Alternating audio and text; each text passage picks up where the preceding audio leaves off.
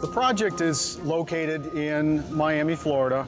It is at the Port of Miami. It's the largest project Corps of Engineers, the Port have combined to take about 5 million cubic yards of material out to deepen the harbor and the entrance channel to create access for post-Panamax ships when the canal opens up in mid-2015. Great Lakes asked us to join the team. They are the biggest and the best when it comes to dredging in, in the U.S.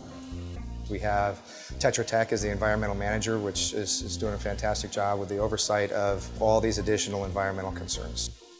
Corps of Engineers on this project determined that it would be in their best interest to have a single source of contact for the environmental aspects. They've integrated, for the first time, the environmental management and responsibilities into a construction project.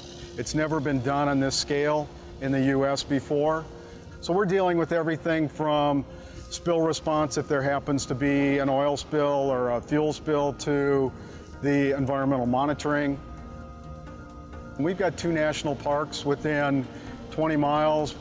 We've got one of the busiest cruise and cargo ports in the nation here.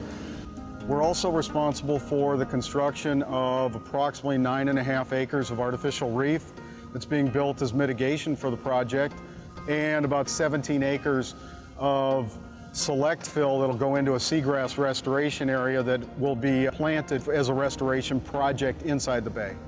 The rock behind us is a small portion of the approximately 50,000 tons of material that's being placed offshore to create that nine and a half acres of artificial reef.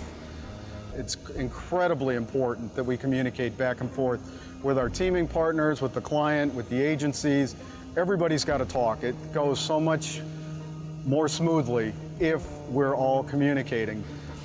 The big thing about project management is knowing when you've got an issue and being able to solve it and work through it. And it's been a really good relationship to date. And hopefully we can find a niche like this in the future to be able to work together.